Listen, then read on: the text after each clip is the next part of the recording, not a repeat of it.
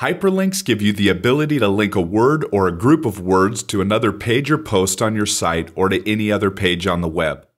To create a hyperlink, from the text editor, highlight the word or words you would like to link from and click the Create or Edit Link icon in the toolbar.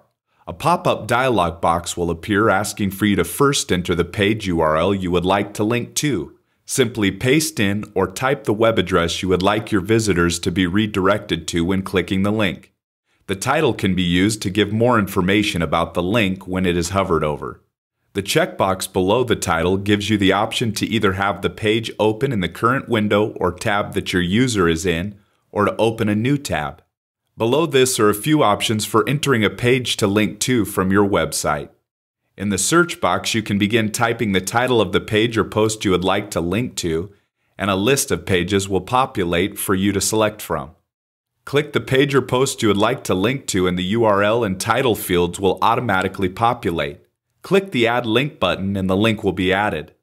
To remove a link, simply click on the link in the text editor and then select the Unlink icon in the toolbar.